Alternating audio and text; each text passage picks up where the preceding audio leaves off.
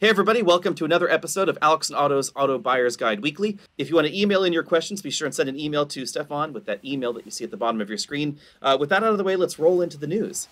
So, lots of good news today. All obviously all very EV related. Uh, BMW a couple weeks ago dropped a bunch of information on the i4 and the iX. So, let's start with the iX because everybody's crossover hungry. So, why not? So, the iX is going to have two versions. There's the X Drive 40 and the X Drive 50.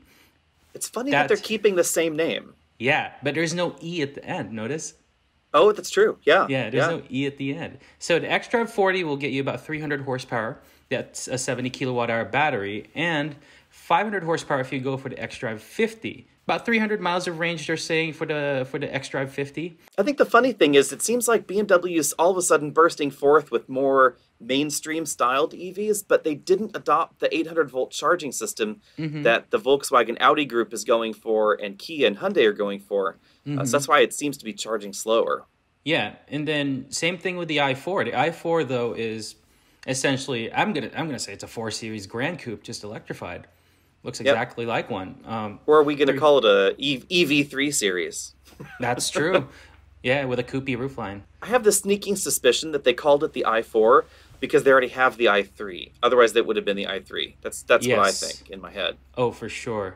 And yeah, so i4 and i4 and iX are going to be the first two cars to get the new iDrive system. Um, if you guys haven't seen it, there's a bunch of videos on it out on it, and it is fantastic looking. That that screens are huge. Huge screens, and they're all curved too. they're saying about 300 miles EPA for the i4, and you know, if I guess they're going to have an M, M performance model, so that's probably the one that's going to have 530 miles and 80 kilowatt hour battery. Not that big, surprisingly, but then it's a sedan. And it is interesting that the battery is not the same in the i4 and the iX. So this is at least three different battery packs from, yeah. from BMW here. The 70 kilowatt one in the iX, the 80 kilowatt hour one in the i4, and then the 100 kilowatt hour one back in the iX again. Mm-hmm. Yeah, which goes, which you know, it begs the question: Is is this car aerodynamic? Because we don't know. Yeah, we don't know. And what tires is it using? So, so yeah, and be- before we leave Germany, let's go ahead and address that whole thing with Volkswagen. And I'm I'm wondering though, what is it? What can VW do to actually improve their sales in the U.S.? I'm I'm honestly always shocked that Volkswagen sales are so poor here, and I've never understood it. Yeah. And they've tried everything that that reviewers and customers claimed they wanted. They gave us cheap cars. They gave us diesels. They gave us efficient cars. They gave us uh, you know discount Audis for a while. They gave us luxury cars. They gave us real wood and lots of leather. Mm-hmm. Nothing they did made anybody buy them. Any time period that you look back in American car buying history, Volkswagen just they just were never as big as I think they should be based yeah. on their international profile. I mean, there really weren't that many bugs or buses sold back in the iconic area that people like to, you know, mm-hmm. reminisce about. Um, back when Jettas were boxy and practical and didn't seem to have those problems, they they didn't sell that well then either. Yeah. It's just funny too because one of the best compact cars you can buy is built by Volkswagen, the Golf. Yeah, the Golf Every is great. version of the Golf that I've driven has been yeah. to the point fantastic. None of them, all of them drove well. They were built well, and mind you, this doesn't even matter where they were built Hey, look at the Passat and the and the Jetta and the Golf and and you know it was the oh well you know maybe maybe Americans want something more premium so we'll give them the the Jetta and the uh, the Passat based off of Audi platforms you know and and that didn't help them so then they mm-hmm. went cheaper again and that didn't help them and now mm-hmm. they're going electric I don't know if that's going to help them. Kia, this was yesterday. Yep, Kia just, released their brand Kia, new EV. Kia released the EV6. I don't know how I I don't know how you feel about the name, but the car as a whole, I do love the whole avant-garde look of it. Kind of grew on me over time, actually. I'm not sure about the back end. Yeah, that's the point of contention. What isn't a point of contention though is the GT. yeah, 577 horsepower, so it'll have more power and be faster 0 to 60 than BMW's new EVs. And it will charge faster. Yeah, it'll charge faster and they're aiming for, I guess, roughly about two, 230 miles for that car. looks like range is not going to be quite as as long as Ford's new EV because their WLTP rating is about 100 kilometers less than the longest Mhm. range EV6. Um, but you know it'll charge faster. We don't know pricing yet, unfortunately. Yes, He is that's going to be the things- big. That's going to be Yeah. Mm-hmm. that's going to be one of the make or break factors, considering everybody thinks Kia should offer insane levels of value. After all, other than that, it's it's kind of shocking that they actually pulled off this 570 some odd horsepower GT version. Yet I yeah Hyundai Ioniq doesn't Hyundai Ioniq Five doesn't get it. It seems like the Ioniq is trying for a slightly more luxurious, more I guess mainstream mission, Mhm. and the GT or EV6 is trying to be sportier. But I Mhm. wouldn't be surprised if there was a 577 horsepower Ioniq at some point. For sure, hopefully soon. And then I think everybody's going to say hallelujah to our next news, and that is Lexus finally committing to electrification. Yes, but it makes me wonder what do they mean by that with electrified Mhm. vehicles? Are we simply talking hybrids, plug-in hybrids, full EVs? I know Toyota has a few EVs in the works, but they haven't really detailed anything. Well, with that out of the way, let's dive into the questions. And it sounds like our first question also has to do with EVs. Oh, totally. Because somebody's asking for route planning. You got any tips for that, Alex? You know, charging plans, routes. Uh, what's your average That's an speed? interesting 'Cause You've done a question. you've done a few already with the Mach E. Yes, yes, I have. So I've you know took a deep dive into it, um, and honestly, none of the route planners really are that accurate. I've discovered. So, um, you know, there's sites like a Better Route Planner that a lot of folks uh, talk up, um, especially Tesla fans. It seems like some of their uh, consumption figures are perhaps a little bit more refined on the Tesla side, but with other EVs, it's not that useful unless you really have a good handle on your true consumption, watt hours per mile. Um, so you're you're in I think better just left to decide yourself, you know, plan your route out using some of the charge apps uh, that show you where the charge stations are. Electrify America is obviously the elephant in the room um, because they are the only nationwide network that has the major interstate highways and U.S. highways completely covered, uh, with the exception for you know Montana Nebraska, basically. Um, so if you want to drive from California to Florida or Washington D.C. or New York to Washington, that is the network that you will have to use to charge all the way across the country. Um, and then just plan that distance out yourself is what I've discovered. Just find that next charging station, however far away it is, put it in your nav system, drive there, charge. That's what I've discovered is probably the easiest thing to do. Now, I will say that um, the car's built-in route planner on the Ford will take you to Electrify America stations. It seems to prefer them. So if I plug in, you know, where I am today in San Jose, uh, down to San Diego, which is what 600 miles ish. Um, it will stop at Electrify America stations, and that's the one thing that I thought was weird about the ID4 is it does not do that. It does not direct you to the charging stations that Volkswagen owns, which blows my mind. Continuing on to the theme of EVs, would you recommend a Bolt, a used Bolt for cold for cold weather daily driving, and you don't have a level two charger? Yeah, this is an interesting question here because Yeah. this this person was asking about about ownership in Calgary in Alberta, Canada, uh, driving 40 miles a day. So I did some rough, you know, back of the hand calculations here, and uh, those 40 miles, depending on exactly your terrain and exactly how cold it is, in a Bolt you could be consuming 18 to 20 kilowatt hours. That could be tricky because at a level one charge cord, you're talking, you know, maybe about one kilowatt hour per hour uh, being being sucked down into the battery. So 18 to 20 hours to recharge that. That could be problematic. Um, if you have no access to a level two charger and you absolutely can't get one, then a plug-in hybrid might be better for you, or uh, an EV with a heat pump might get you closer, depending on your exact miles and route. Maybe you could get your consumption down to say 13 to 15 kilowatt hours per day for that commute in cold weather. Things still would be a little bit shaky as as to being able to actually recover that entire day's worth of driving back into the battery. Maybe you could use it during the week and your charge state would gen would steadily drop down and drop down and drop down and then you could fully recharge over the weekend. Might not be that convenient though. Yeah, and if you want uh if you want an EV with a heat pump, I think you only have two choices at this point if you're going to go used, and that's Niro EV and uh, Ioniq, uh, not Ioniq, Kona Electric. The Kona and uh, the Leaf. Leaf's Leaf had a too. heat pump for a while. Um, the Leaf might lose more range in the cold because uh, of the the way that the battery is is uh, done in the Leaf. Essentially, Yeah, don't want to go too far into it. too. Passively cooled battery pack is the big reason there, or it, especially in cold weather, it's going to be passively chilled, um, so that could be a problem. Um, but it would have a heat pump. Rav4 Avenza, 60 mile an hour, 60, 60 miles per hour, roughly rough average speed and commute in the highway. Also looking at Outback and Forester. and also in uh, Canada. So Canada thanks to all of our Canadian friends for Yeah. calling in. Uh, but since uh, most of you are not in Canada, we're going to be using American units here.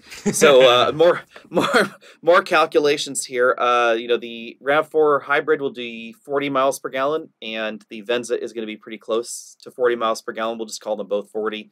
Um, the Forester and the Outback are both going to be 29 mpg, and depending on how much city driving you're doing, expect it to not really get to that EPA rating. Um, however, the RAV4 and Venza are honestly going to be pretty close in a wide variety of different driving situations. Uh, so I looked up your gas prices in Ontario, and uh, you do pay a little bit more than most Americans down here in the U.S. do. Uh, 365 a gallon is what it was uh, averaging last week. Uh, so that means your yearly savings would be 550 American dollars if you opted for a RAV4 or a Venza.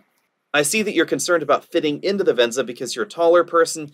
That could be a bit of a problem, and it's going to apply pretty equally to the Venza because basically the Venza is a RAV4 with different styling. So, in terms of legroom on the inside and headroom, it's actually a little smaller than the RAV4, even though it's bigger on the outside. The size increase is really just the bumpers and the styling in the Venza. I might suggest that if you want to stick with the Toyota product, you take a look at the next size category up, a Highlander hybrid.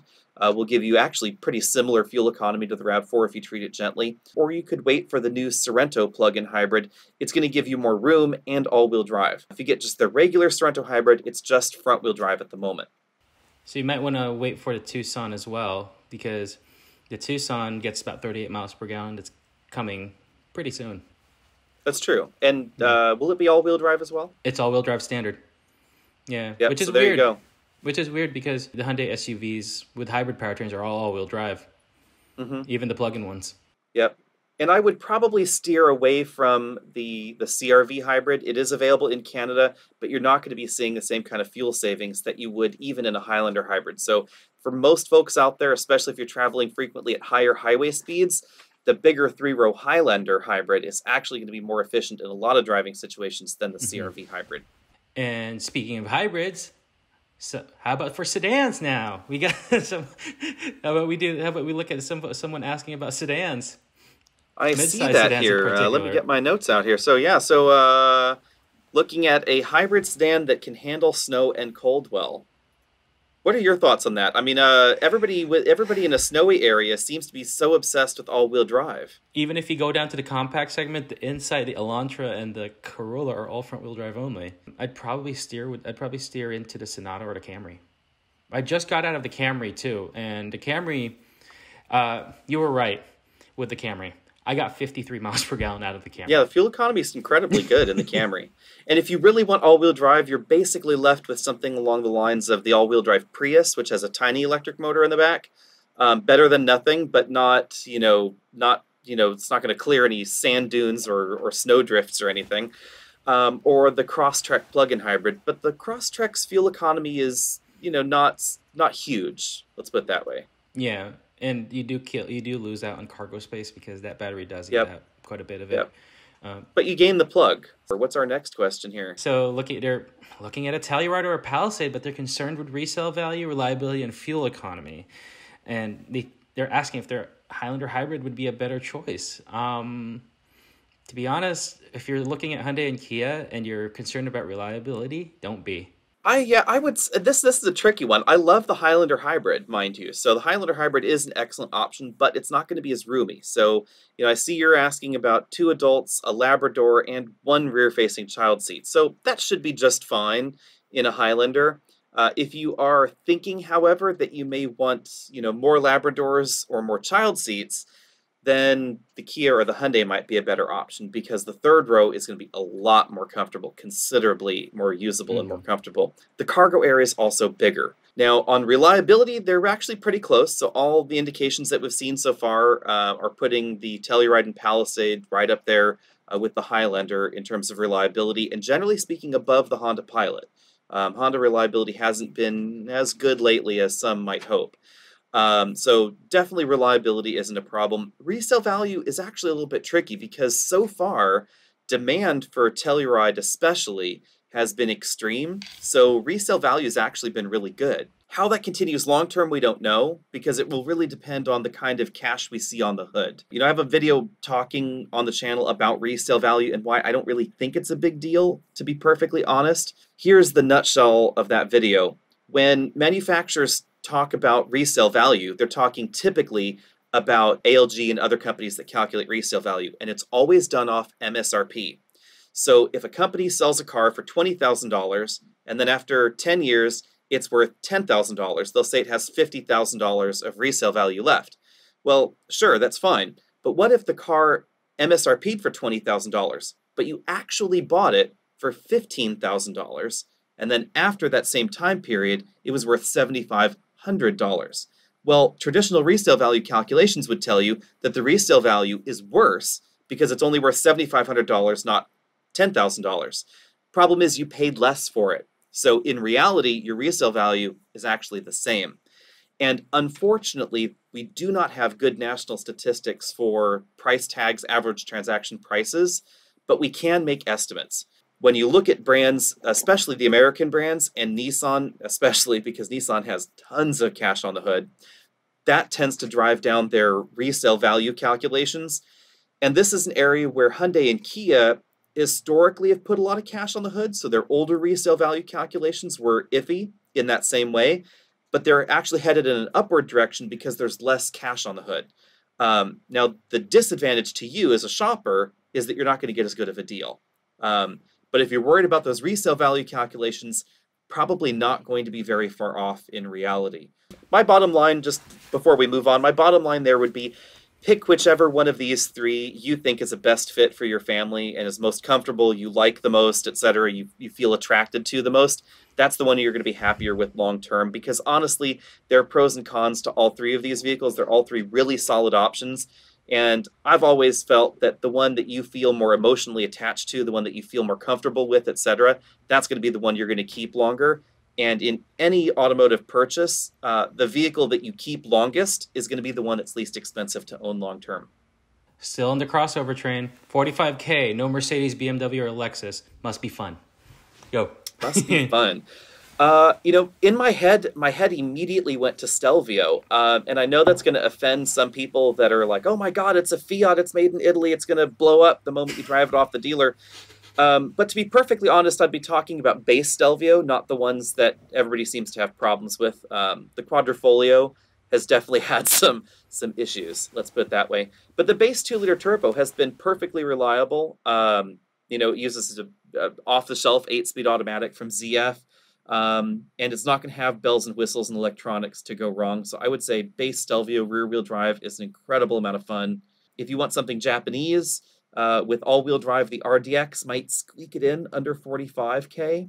Um, and I'm I'm including these mainly because you spoke about other luxury brands. So I'm assuming you're open to other luxury brands rather than than mainstream things. Uh, and I would probably include XC40 T5 on that list. That's a surprising amount of fun in the subcompact category. All right, you ready for a real crazy mix of cars? For 45K I saw that one. Yes, wow. 45k price. which one would you get? You know which. You know our choices are Stinger GT1, a loaded Charger RT, a Ridgeline, and a 4Runner Limited. I like this question. I have to say first, I like this question because this is a real person shopping, and most people tend to be in this same thing where they're like, should I get a crossover? Should I get the sports car that I want? Should I get the family sedan? Like, what should I get? And I don't know um, you know, I've been there myself. I think mm-hmm. that's a mm-hmm. really rational thing. So, you know, one of the troubles, of course, when we're doing reviews on any of these cars, though, is that, you know, we're going to try and compare them within their same category. We're assuming that, you know, we're shopping Stinger against something else that's like it. And that's not always how customers shop. Um, unfortunately, when, when we're doing videos and car reviews, we have to try and, and cast the net wide. Um, but this is very, very common to be uh, to be all over the map. Oh yeah. The which one would you pick? Ooh, that is a tricky one. You go first. Stinger, easy. Stinger. Oh, Stinger. okay. So I have I have a I have a nuanced thought there. um, since this customer said daily commuter, I would steer away from the 4Runner. That would be my first comment. Oh, yeah. Um, the 4Runner, I don't find very comfortable, to be perfectly honest. The technology is old in it, and the fuel economy is honestly pretty dreadful. I would probably get a Tacoma before I got a 4Runner because it has the newer engine and the newer transmission. So Hopefully, the 4Runner is going to get replaced sometime soon. yes, it will be replaced soon. I believe it's 2024. Mhm, That's the Um, claim. Yeah, TNGA-F is the new body on frame architecture. It's on the there's two wheelbase lengths, Tundra, Sequoia, and I believe LX Land Cruiser on the big on the long longer wheelbase one. Uh, Hilux, Tacoma, 4Runner are on the smaller wheelbase Mm-hmm. Yep, one, and I believe yep. it's a hybrid. So That's the yeah. plan. So you're okay. Still a long ways off.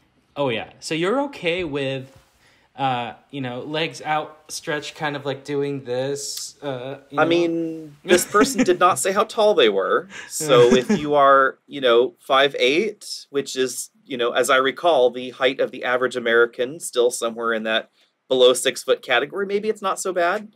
If you're a taller person, Tacoma's driving position is a problem, but I probably would still get it before I forerunnered. Um, Mhm. I like the Ridgeline. The Ridgeline's a great small truck. Um, I've said this before. It is it is all the truck that most people need, but for some reason, not what they want. So, you know, I suspect that a, a huge percentage, not going to go with numbers here because people might crucify me later, uh, but a huge percentage of half ton truck shoppers would be just fine in a Ridgeline. Um, you know, the truth of the matter is, very few people actually tow more than 5,000 pounds with any regularity. Um, and very few people ever haul size uh, large things or or weights in the bed of their truck uh, that the Ridgeline could not accommodate. Um, it's it's the rational person's truck. If you ever needed to go that next level, you can rent a truck from Home Depot. Um, on the Charger RT versus Stinger, I- I think this one's tricky. So I would Stinger with the new 3.3 turbo before I got the Charger RT, but you could get the Charger 392 uh, for quite a bit less than you might think. So you know the sticker price on it is going to be higher, obviously, than the than the comparable Stinger, but uh, you know Dodge is really well known for tons of cash on the hood. So uh, I would probably get the six four. So a 70 plus mile EV used must be under 16k, seat 4, DC fast charger, nice to have, driver assist. Uh, yeah. See, the one tricky part here is the adaptive cruise control puts you in a Mhm. really limited window. So adaptive cruise control and DC fast charging in a used EV, keeping in mind that we haven't had too many EVs out there for a while. Uh, you know, the 70, 80, actually about 80%, I think, of all DC fast charging EVs are Teslas still that, that are being sold right now. And historically, if we go back last year and, and prior, that's way over 90% of all the, the EVs were Teslas. Uh, so, bearing that in mind, um, I would say if you can somehow miraculously find a base model Model 3, that might be an option for you. Uh, they might be down around $20,000 now. Um, otherwise, I would say your two best bets are going to be Leaf and Ioniq. Um, you can get adaptive cruise control on a Leaf. It's been on there for a while, so you should be able to find them on the used market. Uh, ditto on the Ioniq. Um, my one comment with the Leaf would be that it uses CHAdeMO for DC fast charging. At the very beginning of EVs in the US, everybody used CHAdeMO because it was the Japanese standard that we just imported to the US. It was being pushed by Nissan, by Mitsubishi, and by Kia. Uh, also, BMW had some cash in there at some point and they pulled out. Um, unfortunately, everybody else moved on to the new, more international standard, the CCS standard, which is harmonized with Europe. And uh, so now, even Nissan has been abandoning CHAdeMO, and the new Nissan Ariya will use uh, CCS instead. So the number of chargers out there and the charge speeds are going to be lower because of that older technology on CHAdeMO. And it does not appear that there are very many new CHAdeMO stations being built in the US. Very, very few, and all the lower powered ones. So, uh, with that in mind, I would say if you are not going to be using DC fast charging regularly, and if you're not going to keep the vehicle, say, more than four or five years, Leaf is still going to be a good option, and it's probably going to be the least expensive option here. Um, the current generation Leaf should have no problem with 70 mile commutes. I would steer away from the first generation with a smaller battery, however. That would be a stretch for it. Um, and if you're considering possibly a new EV, you might want to take a look at a new Leaf. Um, again, with all those caveats for the DC fast charging in mind, it's probably going to get you the closest to $16,000 out the door. Um, because the Leaf is effectively going to be replaced soon with the Ariya, there's a lot of cash on the hood. I just just did a real quick search on, on my local Nissan dealer's website, and uh, if you wanted to lease one, it's about twenty thousand dollars off uh, off of the the lease amortization price, which is insane. So it ends up being like a seventy nine dollar a month lease with like three thousand down uh, and fifteen thousand miles a year. Or if you buy one, uh, you could probably get to maybe twenty five thousand dollars with incredibly long zero percent financing. So and you'd get the seventy five hundred dollar tax credit on top of that. Mm-hmm. Uh, if you qualify. So those would be my my pointers there. All right more crossover talk. Fun crossover, 250 horsepower or more, 35k or less. Uh, my initial bundle of thoughts, I'll just breeze through them here, and then we can pick them apart. Uh, over 250 is tricky. Let me start with that one. Um, there used to be a time where we found V6s and more turbos under hoods of crossovers.